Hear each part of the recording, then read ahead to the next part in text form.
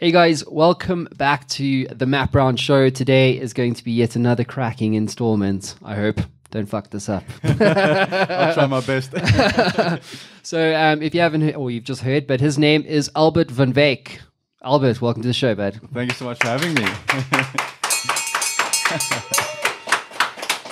Here comes your coffee with a smile. Thanks, Chris. Hi. Just don't knock everything over.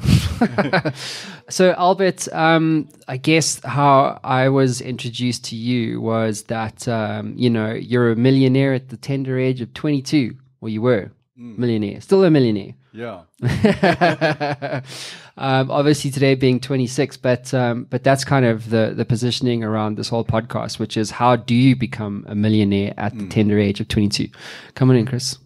Yeah, it's pretty pretty laid back here. Um, yeah, so but before we get into the the meat and the potatoes, like it's quite a cool story, you know. Um, also, I think it's quite interesting in the sense that when you're young, that's what you want. You know what I mean? You want to, you want the money. Yeah. It's like you're not all about contribution or anything like that just yet. yeah. You, you want the you want the toys or you want the bike that no you can't have and your friends have, and I think that's what you know drives you to start doing these things. And but where did you get your entrepreneurial like spark and passion from?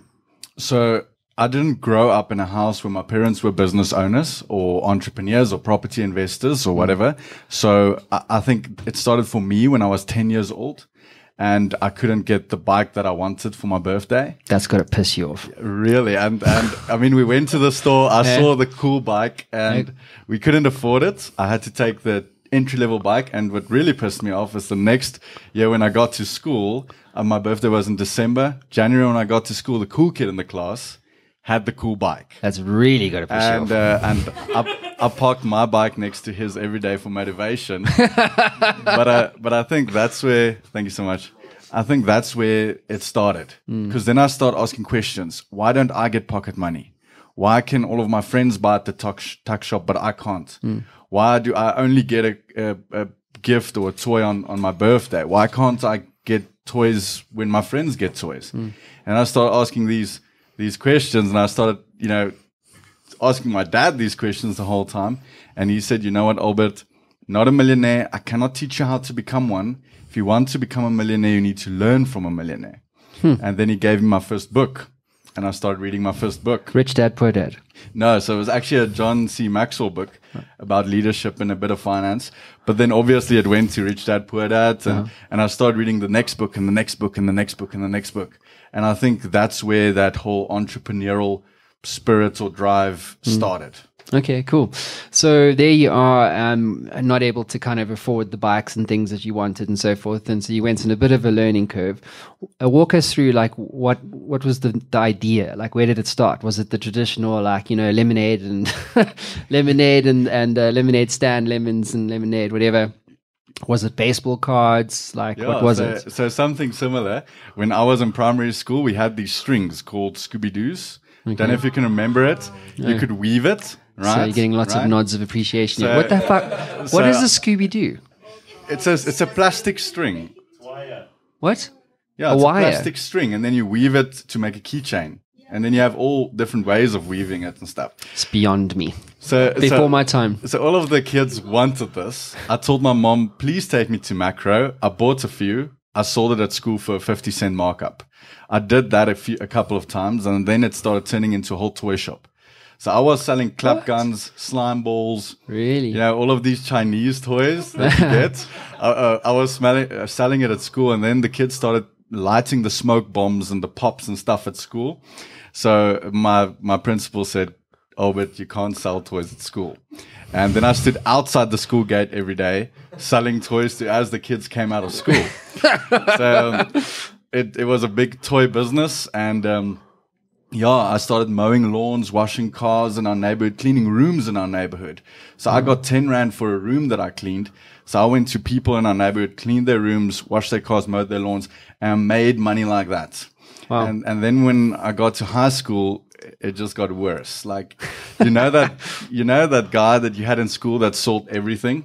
Like Yeah. that one guy that you can get anything from? I was that guy. So I Like sold, anything? I sold, Like what? PlayStations, How much was bag? Like- phones, uh, TVs, you know, whatever. I was selling anything I could get my hands on.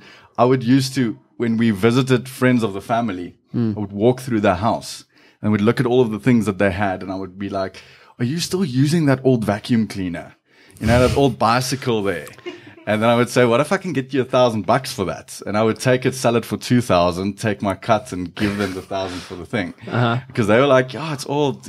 What can you get money for it?" You know? yeah. So I was selling all kinds of things. Um, in high school, I also started a music school because I could play a little bit of guitar. Taught my friends how to do it. Employed them to teach other people how to do it. So it started with like one or two kids coming to our house Who is this guy? coming to our house, one or two kids coming to our house for guitar lessons, changed into a music school with th- hundreds of kids coming for classes that I didn't even know. Um, made money from that. Uh, yeah, and then in school, I also like public speaking a lot. So when the teacher said, Julle, môre is daar mondeling, you know, Yeah. public, so everyone was like, no, we hate public speaking. I was like, yes. And then I stood outside the classroom door and said, 30 bucks, I got you covered. And you know, I was, I was writing speeches for everyone in class. And uh, the next day when they came in, everyone who paid 30 bucks uh, got, got a speech and they were, they were sorted. Wow. Okay. So- You're a proper So, yeah, hustler, dude. That was that was like primary school, high school. I started renting out matric farewell cars in high school. Uh, I saw the matric what? students. Wait, wait, wait. You started renting out matric. matric farewell cars. So the matric students Oh. wanted cars to Okay. go like an old vintage car, or whatever, to go to the matric farewell with. and I knew my grandfather had this old vintage car in his garage. He always moaned it was never being driven. So I said, you know, Grandpa, I'll drive it for you. Borrow it to me for two weeks. And for that two weeks, I rented it out for matric farewells. and then I bought the next one and the next one and the next one. And before I knew it, I had five cars doing 20 to 30 matric fare- farewells a year.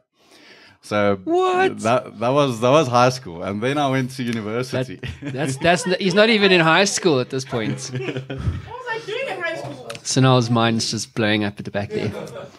So when I got to university, I still had the matric farewell car business. Then I started buying and selling cars. So I was trading cars.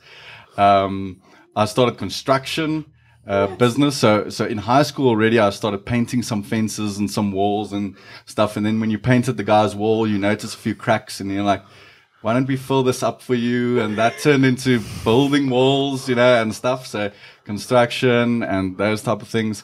Um, second year, I noticed that all of the third year students wanted uh, some money, and all of the second year students wanted the new books.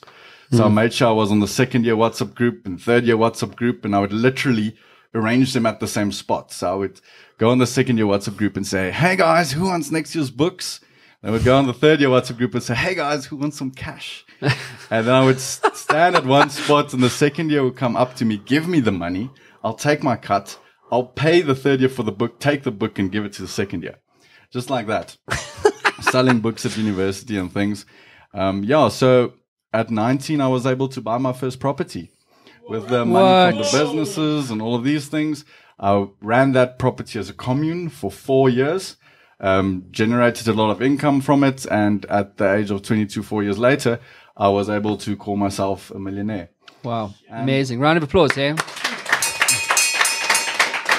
That's like the definition of hustle. And I think the, the, the message that I just want to get across there is it can start with a little plastic string. String, yeah. I mean, that's, that's where selling that for a 50 cent markup. It's amazing, man. And if you just keep going and you learn those lessons, read the books Mm. and stuff, then you can do it. So, I, like, uh, that's really cool. I love that. I mean, um, you remind me of um, the guy uh, Richard Rawlings, who founded Gas Monkey. So he started when he was 50 years old, right? Which is interesting. So he did it really young, but I mean, he he he wasn't who he was at all when he started at 50, and um, and he literally did the same thing. He was like he he hustled his ass off. Like he literally did anything and everything to make cash. So when he was young, you know, so he, he always had it just like you did, I guess, from when he was very young.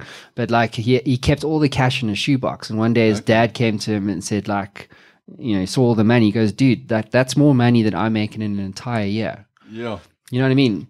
But where, what's the question on your on your mind like when you think about all the different things that you that you did to make your hmm. first bar, what was the one question on your mind or running through your head at that time? Uh, well, I, I would say not necessarily a question, more an ambition. Mm-hmm. So when I was in primary school, it all started, it was about a bike that I couldn't have, right? But then when I got my bike, it changed a bit because my dad used to go out early in the morning when it was still dark, come home late at night when it was already dark. Just he had a tough job and he, he had to work to put food on the table for us. So I think for me, it it changed when I was reading these books, Rich Dad Poor Dad and stuff, and seeing my dad working so hard. I thought that you know I want to live a different life. I want to be financially independent, and I think that's that was the, the question or, or the drive more. How can I get to that point to become financially independent before I have to go early in the morning, late at night, work my my ass off for just nothing almost, you know. So And um and uh did you fail a lot in that time? Because it just seems to me like you hustled and it all it all kind of came, came together, which isn't exactly true, right? No, there was so many businesses that, that didn't work. For example, uh, my brother uh, plays Dota. I don't know if you know the game. as in D O T A. Yes, so Okay. it's a so it's an online game. It's a it's a massive like a lot of people play it, and I wanted to buy him one of one of the figurines or one of the characters, and you couldn't find like anywhere. So I said, "Well, we don't. Why don't we make one?" So we, uh, I got a sculpture to sculpt the whole thing, and we started a molding business. So we were literally taking this sculpture that he made, and we molded it, and we produced like over 200 of them, and painted them, and you know, paintbrush and everything, boxing. It was so cool. We had a little caravan at the back of our yard, and I called it our meth lab because it looked so dodgy. Because of the molding process, you had to add on gloves and a coat and like all the you know stuff. Like it looks like a chemical, Like Breaking Bad, basically. yeah, type of vibes. And it was a little caravan, you know, so it looked dodgy. But um, we produced a lot of them, uh, sold a few of them, and basically the, the business didn't take off. Uh, lost, lost at that stage. It was like university. It's lost about 50k or so, but you know, um, So that's got to hurt when you that. yeah, young, right? when when at that stage, when you're just starting up, that at that stage it was a lot of money to lose, but uh, a lot of businesses, yeah, Mm. that didn't work. Mm-hmm. But you get the ones that work, and then you go for it. So at, at the same time, I started a business called Gazaroo, where we do the online media, so basically design work and social media and branding, and that I still have today. So it worked, you know, it just kept on going with it, and we still run that business now. Mm. So what do you do now? I mean, because it would because there was probably like I don't know twenty five different uh, startups in that little or like little hustles or plays there. Um, have you kind of like consolidated and matured down to maybe a handful? And what are those? And and maybe walk us through why. Uh, so so three.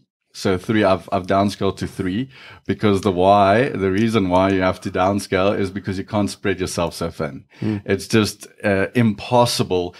In 2016, I used to be on site. Then I would drive to the office to quickly do something there. Then I would drive there for to school or something. Then I would be back at the site. And then I need to go to another site and then this business and then that. It's just terrible. So, um, I have three main endeavors now. So the first one is the property. So I have a few buy to let, uh, buy to let properties that I bought and renting out to students. And then I have my development projects in property where I buy houses, renovate them, um, and sell them again. So basically flips. Uh, so that's my property leg. And then I have Gazaroo where we do the online media. That's, that's my business leg. And then we have Millionaire 22, which is a, is more of a passion project to, to give back to the youth, to, to teach these concepts to the youth. And we travel across the country, visit schools, you know, do corporate talks and stuff. So that's the three things I'm, I'm currently busy with. Cool. I'd love to talk to you more about this book. So here it is um, How to Be a Millionaire at 22, aptly named. um, and, uh, but what's the book like about? Is it, you know, if, if for those of you who haven't read it mm. or heard about it, um, what's, what are you trying to get across here? So it's basically telling my story mm. of how I did it, sharing these these stories with the people that read the book to show them that it is possible. Mm. A guy coming from the Moot in Pretoria can do this, so you can too.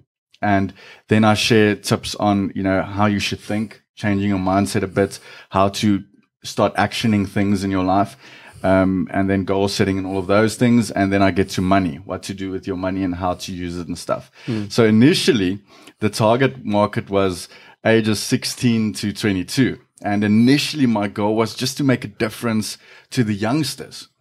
Uh, but then when the book got out there, like we got so much feedback from older people, let's say 45 up even. Hmm. Um, I mean, I had a, I had a guy that was 67, I think, that read the book, took a lot of value from it and, and started his own business at that age after retiring. So I, I think, hmm. I think the book made a massive difference over a whole, you know, age group, not hmm. just, not just the youngsters, but that was, that was the goal and, and that is how it's written. Mm, well, I commend you on that, dude. I think it's important to give back at any stage, at any stage, even if you're not. You know what I mean? You get look if you have a business that's six months old, you're doing something right. You know, so start giving back. I would say, but um, but I mean, let's talk about mindset because it's an interesting one because your mindset was. Um, I think in Rich Dad Poor Dad, he, or at least maybe it's um, commonly known as like a poverty mindset. You know, where and I, I I think it all starts with the operating system of your mind.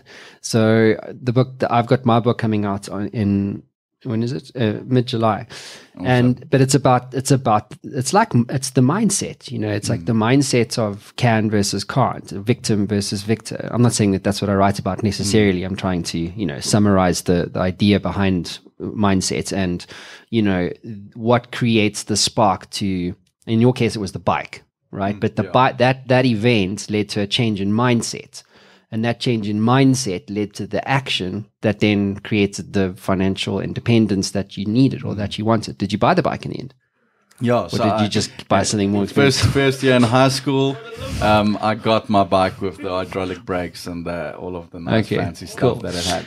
So so let's talk about mindset. Like in your, I mean, you write about it in your book. Mm. Walk us through what what's the mindset that uh, an individual, let's just say anyone listening to us right here, right here now, like Q here or Mav or whatever. Like I encourage them to work for themselves one day. You know, mm.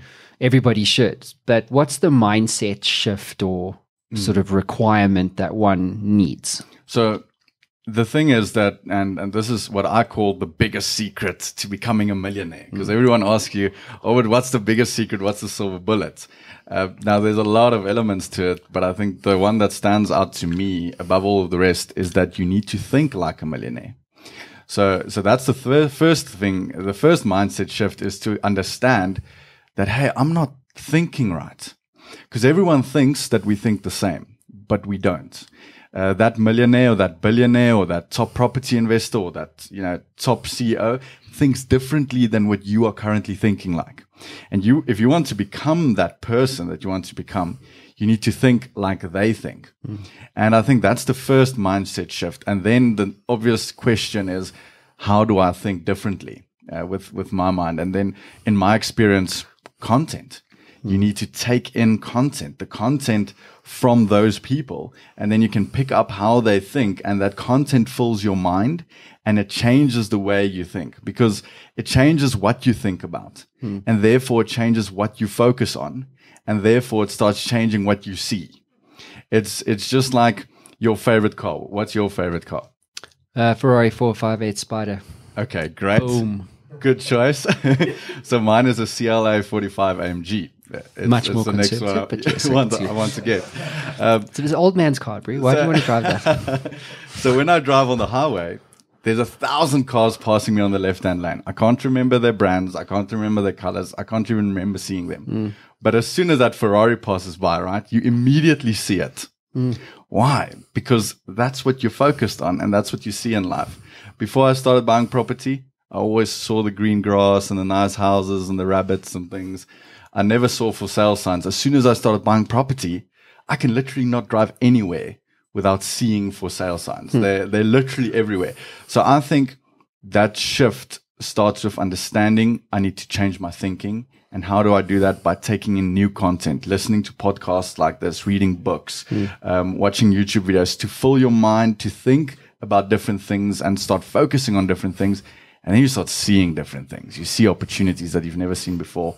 And you see ways to increase your wealth that you've never seen before. So I think that is Yeah. what I would suggest. Okay, so it's like it's like um, if you if you make the assumption that the human mind is pretty much like a computer, and so and it's crunching information. So if you put shitty information in there, like I'm not good enough, I'm not worthy enough, I'll never be rich or whatever, or um, to your point, thinking like a, a millionaire, right? So you know how can i add value or there's value there that's an un- what is an underserved market you know whatever the case is Yeah. it's like to your point content or information uploading that shit into your brain uh, and and you know to your point and absorbing that from people through books through research whatever that is for you podcasts even as in this case thanks for listening guys um, No, exactly. I mean, it, it just changes the way you see the world. And I get so many people that say, I want to be a millionaire.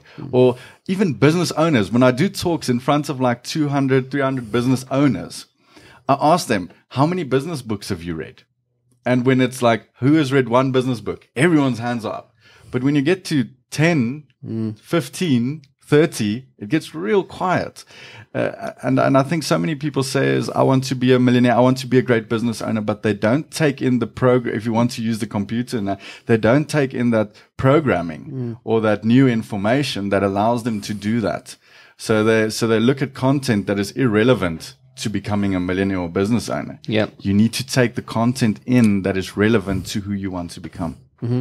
Um, where does one start with that? So let's talk about books firstly. So what what's been the most influential book in your in your life so far? So I would say the the first one was Rich Dad Poor Dad because that's that's where I started, Robert Kiyosaki, and then more recently a, a massive influence. Surprisingly, I didn't think that it would have uh, is the One Thing by um, Gary Keller. The One Thing by Gary the Keller. one thing. So it completely changed my whole mind about time management and, and goal setting and, and how I do my daily things. So, so those two books are great. But then normally I suggest as a startup, read Rules of Wealth from Richard Templar, uh, read How to Win Friends and Influence People from Dale Carnegie. Yeah, I read that. Uh, read Start with Why from Simon Sinek. Uh, those are all great books to start with. Have you read a book called Niche Down? No, I haven't. Uh, Play Bigger. No. Uh, Christopher Lochhead is coming on my show. he sold his company to I think H- Hewlett Packard for like a billion dollars or whatever. Um, but um, but those two books more most recently have been super influential on us because I mean we we've niched down in the tech sector and you know we we we are we've I'll send you the the the details after. But um um but uh, you know we've quadrupled in size in six months simply by niching down you know. A lot of the product stuff that we that we take to market the lightning strike um, came from play bigger which is all about category design and how do you create stuff that you own or market segments that you own. Um, that book there also the paths to new um, i forget the author now uh, Jean-Marie Dru. He's the uh, head of or chairman of TBWA Disruption. So their whole thing, one of the biggest ad networks in the world, and uh, based around you know disruption and culture, um, and how do you spot literally how like there are proven scientific ways to disrupt markets. You know what I'm saying? And which is an interesting point of view. So take property. You know what I mean? Like uh, Scott Picken and Wealth Migrate, they're disrupting the property sector. But how do you get to the idea? you know what I and mean? if you read this and then you start thinking about how do I disrupt this Mm. the whole day, and then you start seeing these things and ways to do it just because you were thinking about it and focusing on it. So talk to me about your decision making process because for me that you know especially now if you're in a technology enabled business like us if you make a bad decision everything's 10x bad. But if it's good it's 10x 10x good. You know what i mean? Mm. So like you could literally wipe out your business if you have 100k versus making like a bar. You know what i'm mm. saying? So decision making really matters. And often I, the reason why i mean i've started nine companies and six of those failed. So i know very much what failure feels like and it sucks. Mm. Um, it's also necessary. Because what it was ne- what was necessary about that was the fact that you know you learn how to make decisions properly you know and like whereas before I wouldn't have a risk radar. it would just be like kind of like what I imagine you were doing, which is just like, let's go, and start all these different things. And then now you've, as you said, you've consolidated down into three because you've learned that you can't run all these different things. You know what I mean? There's a means to an end to it. Um, what have you learned about decision making? How do you make decisions? Are you looking at data points? Are you looking at intuition? Is it a mix between the two things? Like, how does one, in your case, how do you specifically make decisions to ensure that you have the most probability of success? So, so one of the big, I like to be a hands-on business owner. The reason for that being is I like the gut feeling that that something gives me. So, so maybe I'm not that analytical about the decision, but if it gives me a good gut feeling and and I think we can do it and we can pull it off and it feels right to do it, then I'll get into it. If it if if I get a, a feeling that um, maybe we should not go into this, I get a, a bad feeling, then I'll rather stay away. I won't even try to force it. So, so I think trying to force things, sometimes there's a good opportunity, but you're going to have to really do stuff that you don't feel is the best way to go and you're forcing it then then you then in my case it always led to to a failure. But if but if you went with the with the gut feeling and you felt yes we can ta tackle this. We can do this. This feels good. I think it's going to be a, a good a good road to go on then then we'll take that decision. But a lot of my decision is also uh, based on uh, how i juggle all of the balls that i'm busy with. Um, so another lesson my dad taught me is yeah if you if you have a if you have a ball and you're juggling a ball and you throw it up too early and it falls or if you hold one too long the other will fall. And if one ball falls you have to stop juggling all of the balls and pick it up and then you can start juggling again. So it's very important to make sure that you keep you know your hand on on a ball just long enough to get it back into the air. So a lot of my decision making is based on that as well. How much time do we have to spend on this uh, that we want to tackle and what is the result that we're going to get um, are we going to spend 80% of our time on this and get 1% of the result or is there something else we can do to to to get a better result compared to the time that you put into it So, like opportunity cost, basically. yeah Okay. And then um, what? But you. But I'd like to get into a little bit more detail around like when you say you you get like a feeling, like your gut, like what is interesting, right? Like if someone doesn't know what the hell you're talking about or mm. what we're saying, like you know, well, you got to trust your intuition because you get told that a lot, right? Mm. It's like no, you got to trust your intuition, just follow your gut. And oftentimes that's a load of bullshit in the real mm. world. Do you know what I mean? But let's assume that it is viable. And it's- I'm not saying that it's not viable. I'm saying sometimes yes. It's like it was weird this morning. It's like, you know, dude, because I got a meeting with an investor in about half an hour. Um, and I'm like, so, so let's just say I meet with this investor and I'm like, okay, cool. You know, um, it just been really well. Kind of he's putting money on the table. It can help us scale and whatever. So now I'm sitting with a decision. So now, you see what I'm saying? so now, like, so do I like, do I meditate and go, do I, do I feel good when I say his name? You know what I mean? Or or do I does do I get a do I get a jump or a lift or do I just feel bad or do, is it? But then is it fear? You know, because Yeah, that's also mixed into it. fear or Is it you? risk or yeah You see what I'm saying? So so what are kind of what are some of the like the the metaphysical signals I guess that that you would look out for? That's hard analyzing myself like that. Um, I, I read a book. I'm busy reading Shoe Dog as well, and and Phil. I don't know that name. From uh, Phil Knight. He, he tells Uh, the story of Nike. oh, yes, that's they it. had the There same kind of. They had to decide if they want to go public, and every time they said no, it doesn't feel right. But I, but I, I'm thinking about how I go through it. I think if you're gonna tackle something, if you're gonna go with something, you really need to be excited about it. You need really need to feel energy around that, hmm. because otherwise, when the going gets tough, you're just gonna jump out of it. You, hmm. You're not gonna pull through it. So so whenever you don't feel that intense it's weird to describe it like that drive or that energy to to do this you're. It's really excitement. excited Yeah, You know, yeah. you can't sleep at night you think about this that company that wants to buy in you google them all the time you check out everything about because you're very excited about it Hmm. um, and and if that is the case and if you're passionate about it and excited about it and it makes you curious and it makes you it gives you that energy then obviously when the going gets tough because on this road there's going to be a few things that's Yes. going to be like oh, you know, and, and, and when those tough bumps in the road come, you need to still have that energy to get you through it. Because otherwise, when it comes and you've been feeling since the start, like, mm, maybe I don't want to do this, when the first bump in the road comes, you're going to be like, uh uh no, this is a failure. I'm getting out. And most of the times, uh, some of the failures in, in, in my life with the businesses and things is just because I didn't really have that intense excitement or passion or energy to make this thing work. And then if I look at my business that I have now, we went through tough times. There was a lot of times where it was terrible, but what made us a success is the fact that we had that energy, we had that drive, we had that passion to make it work. Cool. I wholeheartedly agree with you. The thing that like I'm thinking now, it's like the only time I would get excited ever about like a financial gain or investment would no a financial gain in any way would be in state. Yeah. Like it would be when it's done, the story's done. You know what I mean? Like it's sold, it's done, or it's been handed over, or whatever. There's a legacy left behind. Mm. You know what I mean? Like I, I don't actually think I would ever take money. Like really, I don't know, because I would be too, I would be too unexcited about mm. what that would represent. Mm. Makes sense. Now I'm working for someone else. Now I've got to hit like 10x or 20x revenue. Now I've got to crash my team on on delivery. You know what I mean? Not that I don't do that, but anyway.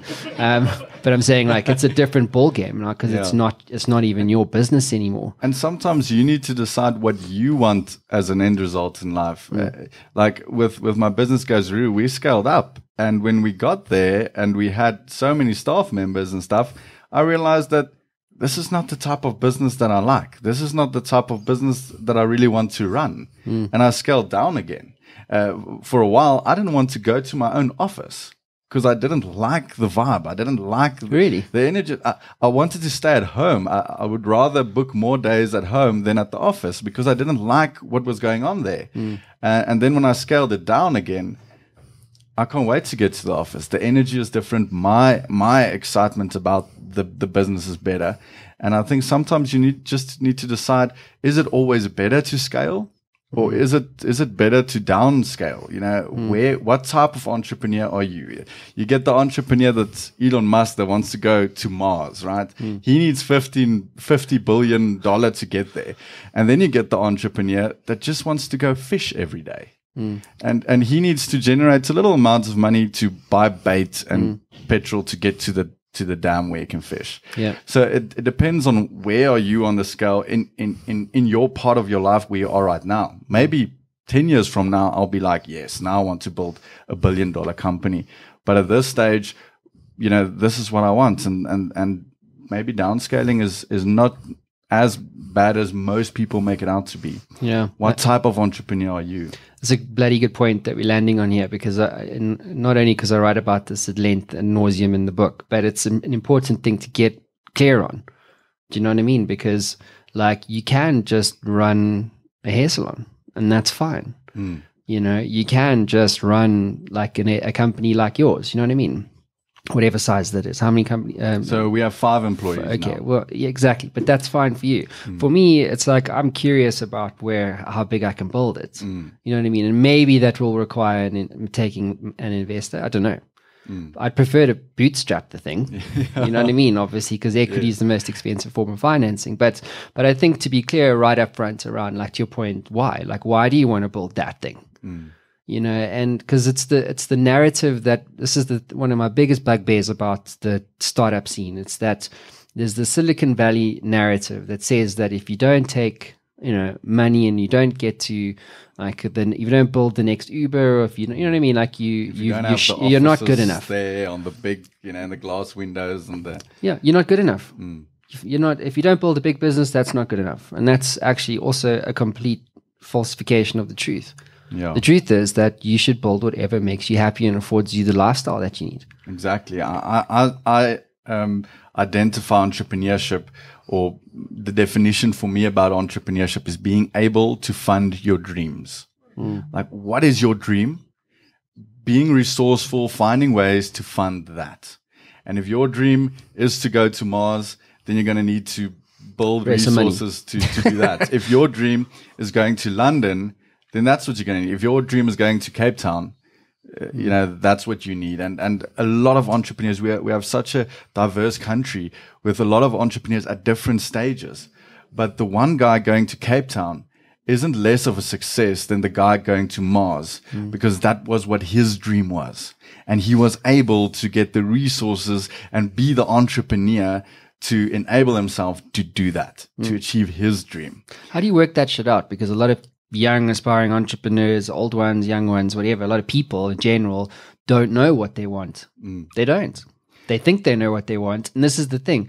So like, you know, uh, what I said right in the beginning of the show was like, you know, when you're when you're a first time founder, never started a business before, you're 18 years old, or in your case, 16 or whatever, like you're chasing the cash. You know what I mean? Like I'm gonna, I want to be a millionaire, and then you become a millionaire, and you realize that actually you're not happy. It didn't mean anything for you. Like not Ferrari 458, Spider, Mercedes, CLA, CLA, whatever, you know, AMG, Seal 63 AMG, like whatever. Like it's mm. it's just stuff. It's not going to fulfill you. So then you need to ask the question, well, what what what vision for my life do you want? You paint a vision, just you know, put the broad brushstrokes mm. on, like you like you have a blank canvas and you can paint whatever the fuck you want to paint on that thing. And then you got to say to yourself, well, how do I get there?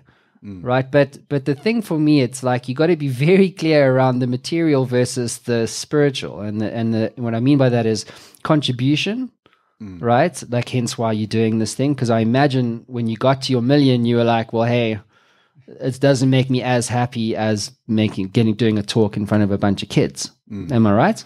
Yeah, look, when when I got there, people started asking me all the time. They said, Albert, you're telling me about all of these properties. You're telling me about these businesses. I wish someone would have told me this when I was 22. Hmm.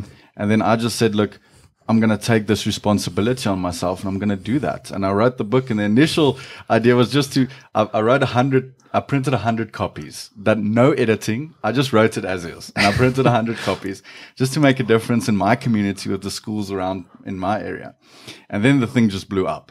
Hmm. And before we knew it, we were on in, in newspapers, on radio stations, on TV, and then the school started ca- calling across the country. And we said, "Well, let's get in the car and go."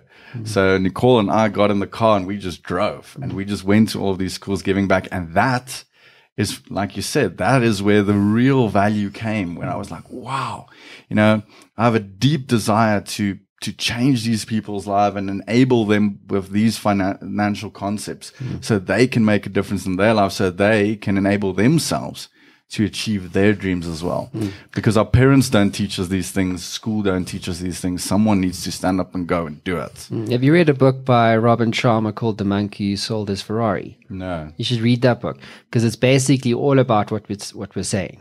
Mm. You know, and like I've, I've, it's come up on the show countless times. It's like not one, like I always ask, and I'll ask you at the end of the show. Don't answer now, but like, why do you do what you do? And and and you know, it's all. And don't change your fucking answer either now. But uh, now I but to think yeah, but it's like, why do you do what you do? And you know what? Not a single person has ever said, "No, it's about the cash, man."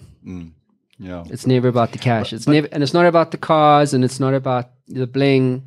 but it's not wrong so It's also not wrong. So your dream can change. My dream That's it. started with with having a bike. Mm. So it was about getting a bike. Yeah. Then it changed to becoming financially independent, the cash, right? The money. Mm. And and then when I got the houses and became financially independent, it changed again to saying, look, now I want to make a difference in South Africa. Mm. So so I I would I wouldn't discourage people from going for the beach house and the car and the things.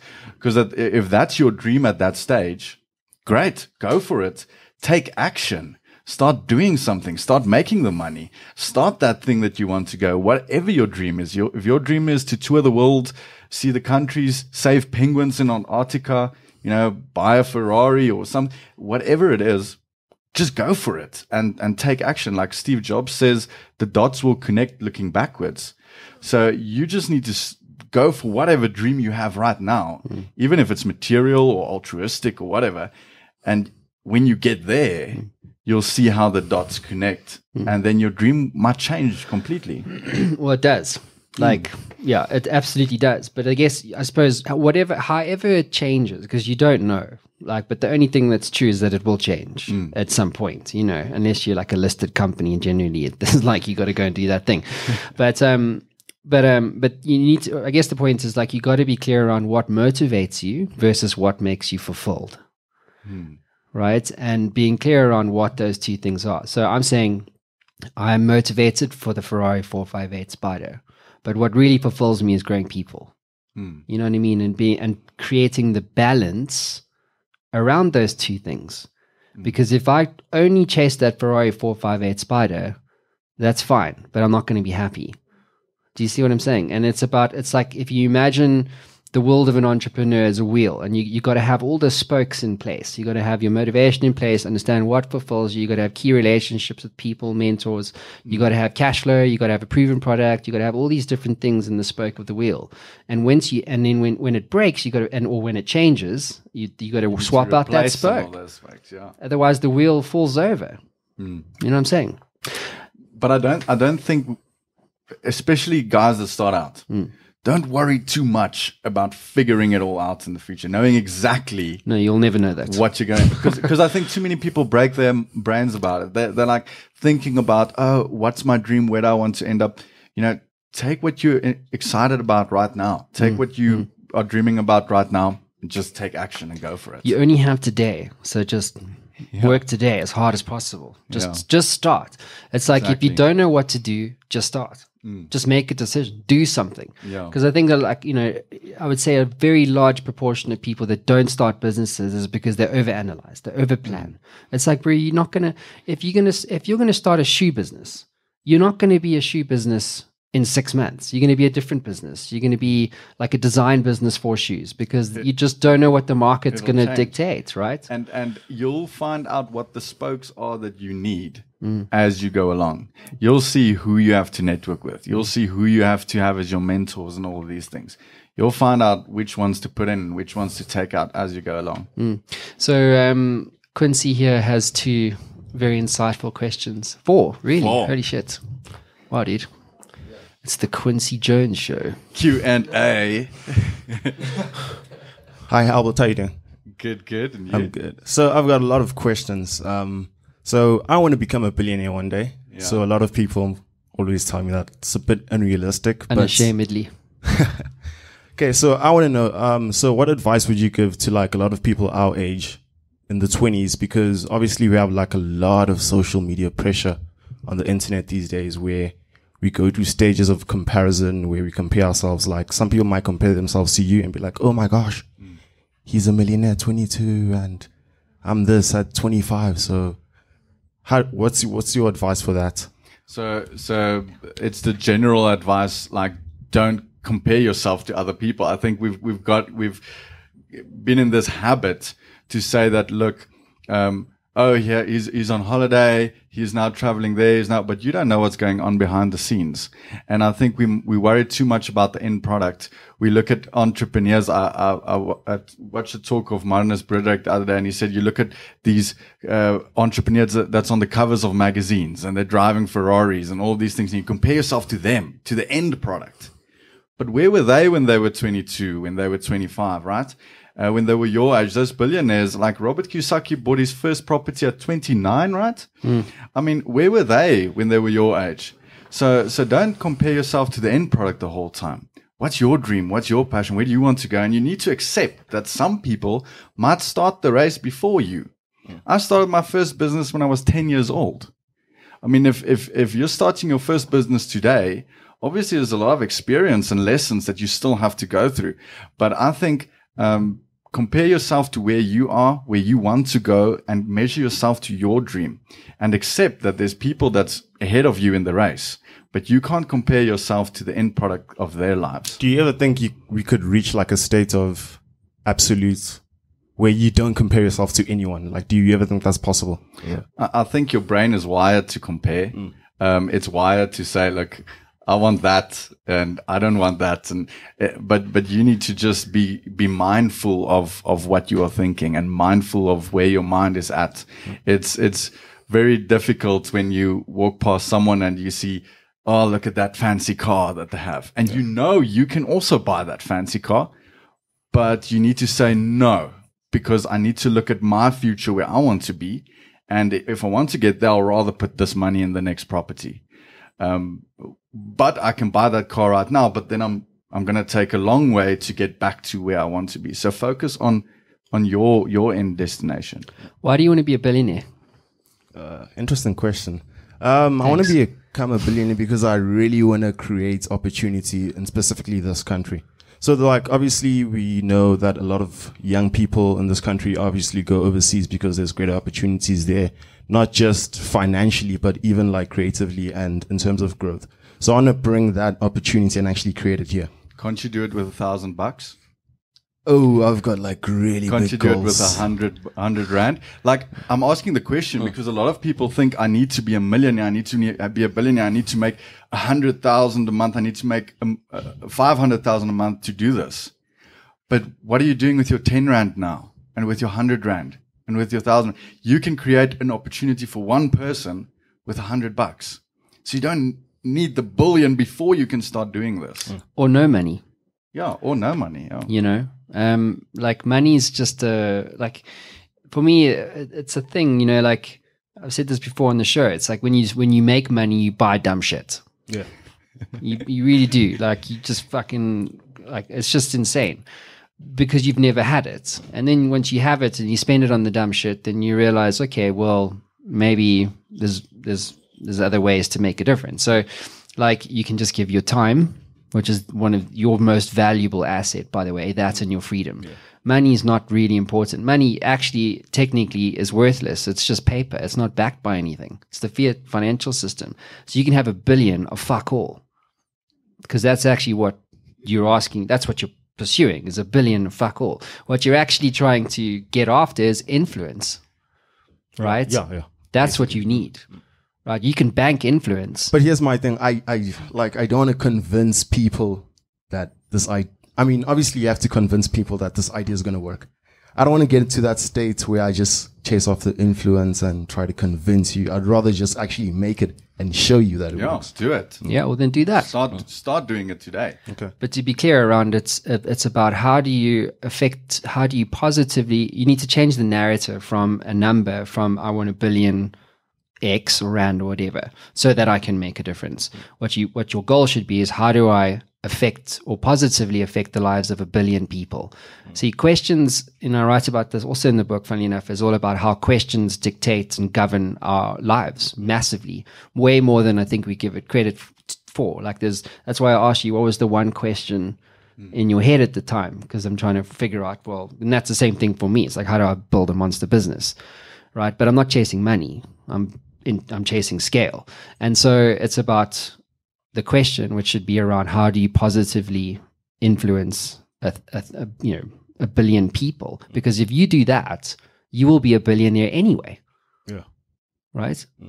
Okay, so my next question um, relates. This both of you can answer this. So it's relating to more to time, like you said. Time is the most valuable asset. Do you ever believe in dropping certain business ideas you might have because you might have not enough time in the future? All, all the time. Yeah. Like you have to, like even if you you're to really, really passionate about them, though. you you can you can ask Nicole like I'm an entrepreneur, so whenever something good comes, uh, you're like, oh, I want to get into this business as well, and then and then something else, I want to get into that business as well. But but you need to decide like what's what is the key things that's going to get you to your end destination and focus on those things. Like I said uh, earlier, I, I had to downscale to only do three key things that I believe is going to get me there. And some of the other lucrative opportunities that looks nice. Re- remember, any business is basically a full-time endeavor. It's going to take hard work and grind to make anyone work. So putting 20 of them on your plate is, yeah, Put them on a list, but pick one. Yeah. you know, because it's uh, yeah, just one man. I tell you, because like um, I'm probably going to lose a staff member at the end of this conversation, but uh, but uh, but I mean, it's but it's it's easy, you know, when you when you're thinking entrepreneurially and you have an entrepreneurial mindset, you it's very easy and quick to be romanticized by the new shiny thing Mm. you know and so you define yourself and your business more so by what you say no to not what you say yes to. Mm. So it's like we don't do automotive we don't do financial services insurance or any other fucking company except for technology. That's what's led us to scale. The other thing about startups is that most of them start from indigestion because they take on too much stuff. Mm. And so how do you prioritize? So i mean it literally kills businesses this idea of not if you're not laser focused on a single problem and and and if you're not falling in love with that problem over and over and over again Like that's really where passion comes from. That's where drive and motivation comes from. That's where your decision making comes from. It's like the smaller. This is what it uh, is in the book Niche Down by Chris. Is that you know when you laser focused, everything becomes clear. Your narrative, your story, your customer, your price points, your competition, everything becomes clear. Also, you can start to own stuff. You know, On on the other side of the coin, uh, a lot of entrepreneurs that's that's up there will always tell you focus on one thing only. But if you go back into their stories, a lot of them had a few different things in the beginning to to to see which one worked. Um, I did I did a product based company. I didn't like it, so then I moved to service based company. I like that more. So in the beginning, try a few things. Those things you have on your list, try them, see which one you like, which one works, what type of entrepreneur are you, and then then if if one of them takes, uh, you'll make the one take that you like the most anyway, and then you go with that one. But in the beginning, it's not wrong to have a few different ones to learn some lessons and and find out what you like as an entrepreneur. great. Yeah, great points. Okay, uh, last question. So you also mentioned taking in a lot of information, reading books, watching podcasts, and I agree with that.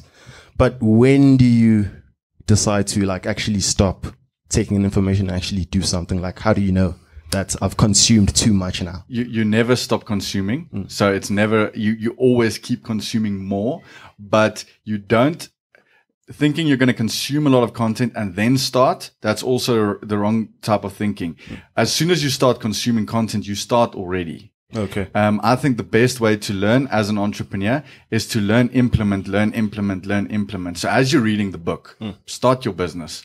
And then, you know, as you learn from your business, the stuff in the book will also make more sense. So co- continuous self improvement, continuous, uh, intake of, of knowledge and content, but also continuous starting. So don't wait after you've read a few books to start. Start immediately, but also don't stop taking in content. Yeah. So there's a saying there. It's like um, the smart man learns something new every day, but the wise man unlearns something new to remain relevant. And that's especially true with you know the exponential world we're going to be inheriting, or that we have inherited already, I suppose. Um, and uh, yeah, it's it's about again decision making. If you're if you have shitty information available to you, you're going to make poor decisions. If you have great information, great perspective, great decisions, great results. But um, yeah, I 100% agree with you. Like, you never ever stop learning. You can't. Yeah. It's like because your business will change. You're going to grow. You're going to looking at personal stuff. You know how to overcome the fear of failure on like month one, but on month six you're looking at well confidence and leadership. You know what I'm saying? So you never really stop. You shouldn't really stop. And and if you want to become the best entrepreneur in the world, then just go into a bookstore and look at the business section, and then you'll see how many books there are from all of the great entrepreneurs in the world. And if you've only read like a quarter of them, then you still have a long way to go. And I always view my mind as like a library. See how many information and books are in there that I can fall back on to extract knowledge in the moment when I need it.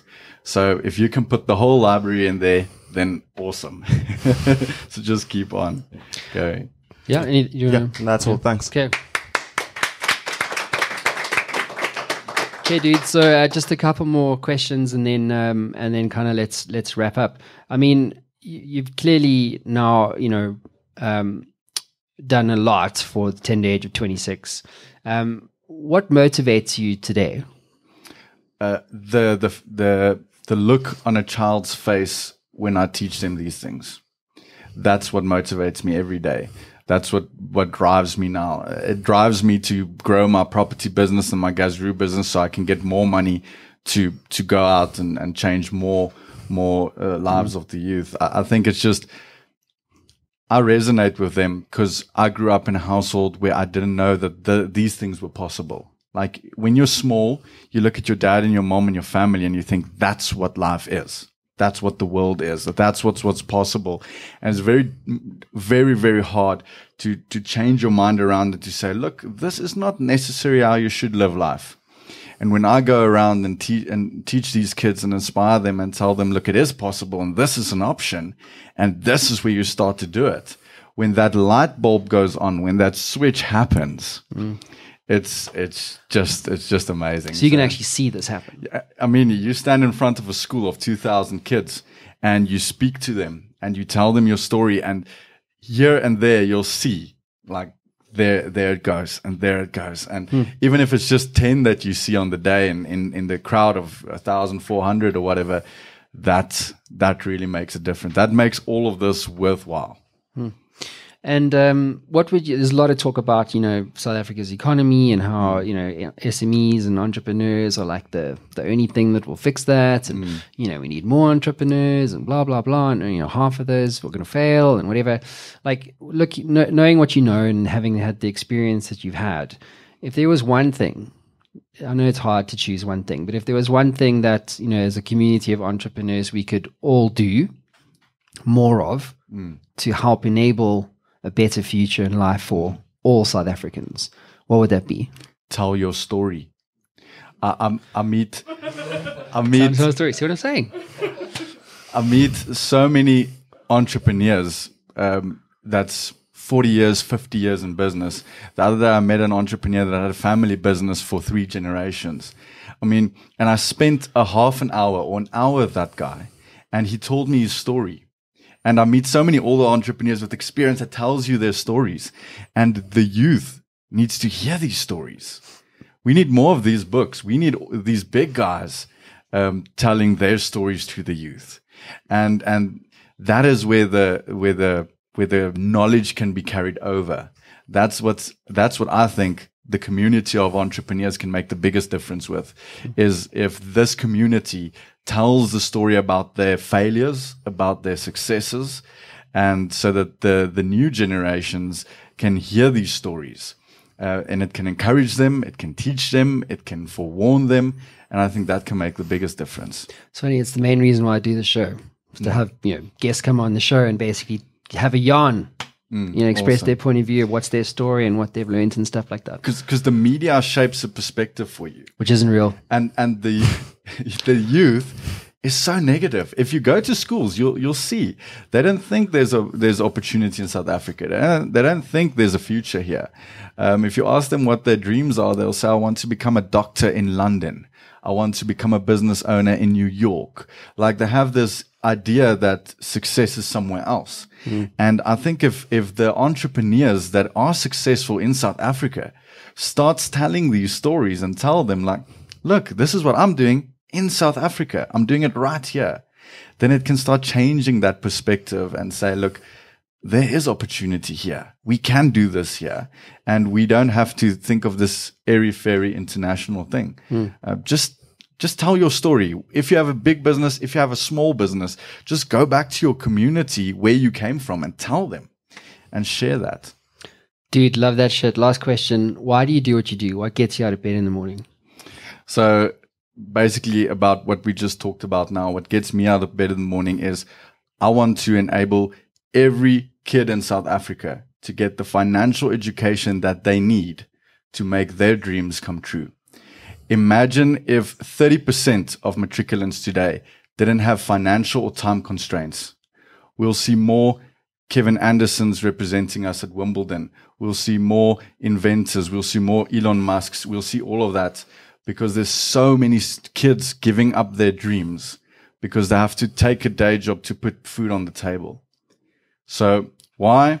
I want to help every kid in South Africa get the financial education that they need to help them enable them to achieve their dreams. Albert Van Wyk, everybody. Awesome. Thank you.